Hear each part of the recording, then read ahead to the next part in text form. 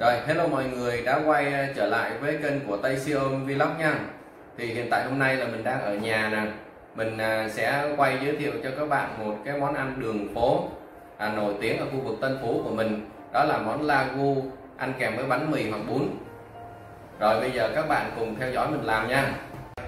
Xin được giới thiệu với các bạn để làm món lagu ăn kèm với bánh mì hoặc bún thì chúng ta cần chuẩn bị những nguyên liệu như sau. Và đây là thịt gà, rồi, khoai lang. Rồi, hạt điều màu để tạo độ màu cho món ăn. Rồi, tới dầu ăn. Rồi, các gia vị đi kèm là bao gồm có hành, tỏi, đường, muối, bột ngọt. Và đặc biệt nguyên liệu chính quan trọng nhất trong cái món ăn này đó là nước cốt dừa. Và đây, xin giới thiệu với các bạn, đây là nước cốt dừa. Tắt đi bây giờ mình tiến hành và mình nấu thôi các bạn. Bây giờ trước tiên là sẽ, mình sẽ có một cái chảo dầu. Mình đổ dầu vào chảo.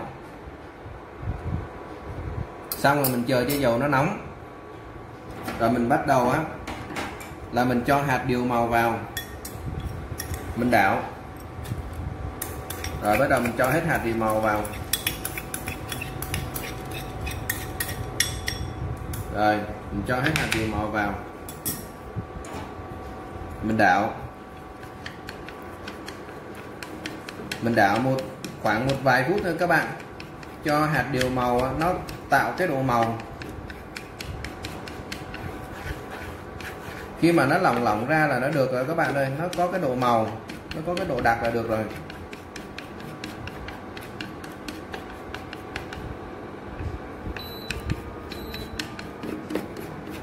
Thì trong quá trình mình chờ hạt điều nó ra màu thì mình cứ tranh thủ mình đảo từ từ nha các bạn.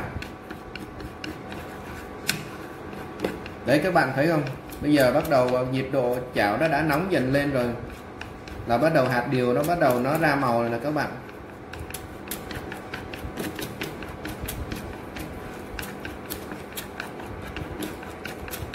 Các bạn ơi, bây giờ là mình sẽ tiến hành mình xào khoai.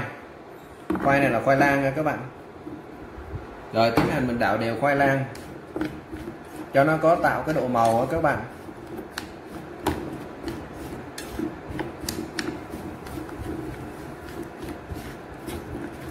Mình đảo liên tục để cho khoai lang nó ngấm cái à, nước điều màu các bạn.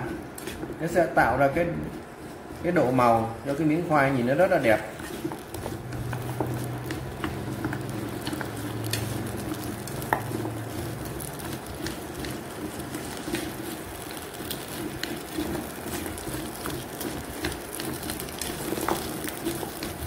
Rồi, xin được giới thiệu với các bạn.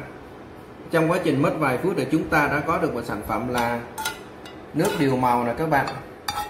Nhìn rất là đẹp. Bây giờ mình sẽ cho cái chảo điều màu này, Cái nước điều màu này á Vào trong cái son. Rồi, xong mình đảo đều. Mình đảo đều xong rồi, xong bắt đầu á Rồi mình cho thịt gà vào. Rồi cho thịt gà vào mình đảo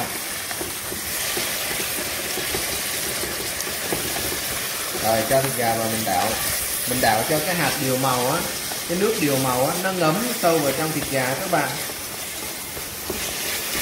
Khi mà mình thấy thịt gà nó săn chắc lại rồi á.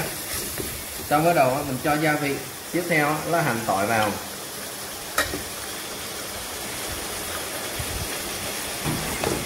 Rồi tới tỏi vào. Mình tiếp tục mình đảo lên.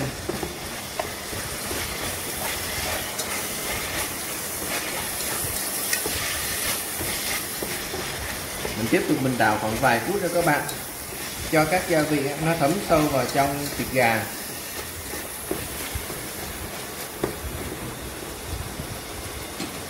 Rồi, tiếp tục. Mình sẽ nêm nếm các gia vị, bao gồm có đường. Muối. Và bột ngọt.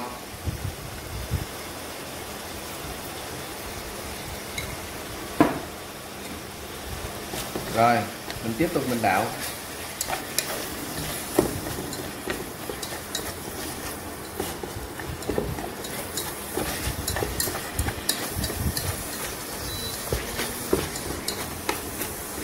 Mình đảo cho tới khi nào mà mình thấy miếng thịt gà nó săn chắc lại được được là các bạn.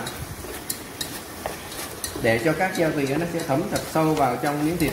Bây giờ sau vài phút xào thì các bạn thấy là thịt gà nó đã săn chắc lại rồi. Bây giờ mình tiến hành mình cho cái nguyên liệu chính là nước cốt dừa vào.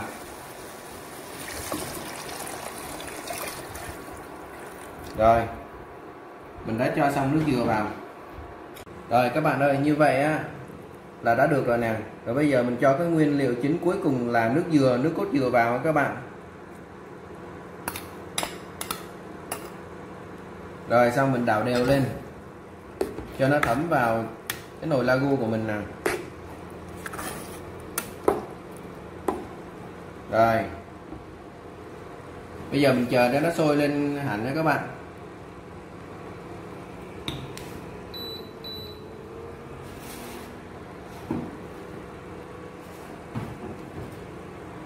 Rồi, bây giờ nó sôi lên, bắt đầu mình tiến hành mình múc ra là tô là các bạn.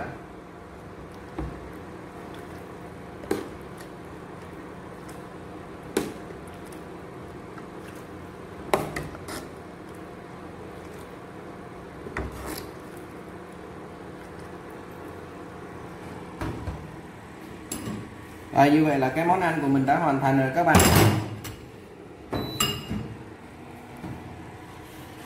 Rồi cái món lagu ăn kèm với bánh mì hoặc bún đã hoàn thành rồi các bạn à, Như vậy là các bạn có thể quan sát thấy là cái món ăn này thì mình có thể ăn kèm với bún hoặc là bánh mì tất cả đều được hết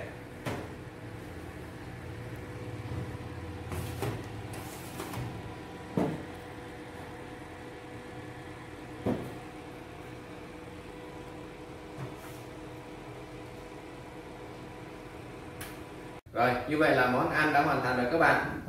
Rồi các bạn nhớ cho mình một like và subscribe kênh của mình để ủng hộ video của mình nhé nha. Rồi, thân ái chào tạm biệt và hẹn gặp lại các bạn vào những video tiếp theo.